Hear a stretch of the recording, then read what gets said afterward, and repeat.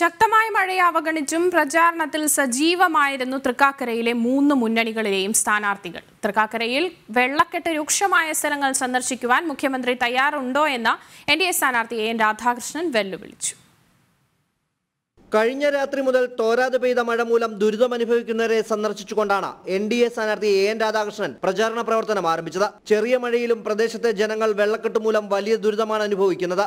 സർക്കാരിന്റെ കെടുകാര്യസ്ഥതയാണ് ഇതിന്റെ പ്രധാന കാരണമെന്നും അദ്ദേഹം പറഞ്ഞു. ലോക്കൽ കമ്മിറ്റികളിലൂടെ യാത്ര ചെയ്യുമ്പോൾ ഈ പനമ്പള്ളി നഗർ പ്രദേശങ്ങളിലുള്ള പാവപ്പെട്ട സാധാരണക്കാരായ ആൾ അവിടെ ഈ ഉള്ളത് ഏറ്റവും താഴെയുള്ള എൽ ഐ ജിയിലാണ് സംഭവം നടക്കുന്നത് അവിടെ വലിയ ബിൽഡിംഗ് ഒന്നുമില്ല ചെറിയ ഒറ്റ റൂമും ചെറിയൊരു സംവിധാനമുള്ള എൽ ഐ ജിക്കാരുടെ അടുക്കളയിലാണ് വെള്ളം കയറുന്നത്. അവിടെ ഒന്ന് മുഖ്യമന്ത്രി സന്ദർശിക്കേണ്ടതായിട്ടുണ്ട്.